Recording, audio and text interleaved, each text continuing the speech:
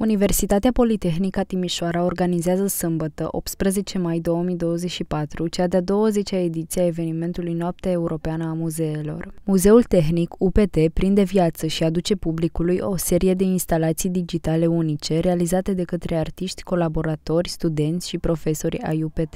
Începând cu ora 16 până la ora 22, toți cei interesați sunt invitați să descopere istoria tehnologiei informaționale. De asemenea, intrarea este gratuită. Timișorenii și nu numai sunt așteptați în număr cât mai mare pentru a descoperi evoluțiile tehnologiei în Muzeul UPT. Evenimentul este conceput pentru a capta atenția tuturor, indiferent de vârstă, oferind o oportunitate excelentă de a învăța despre evoluția tehnologiei și impactul acesteia asupra societății, îmbinând mai multe domenii, medii și idei.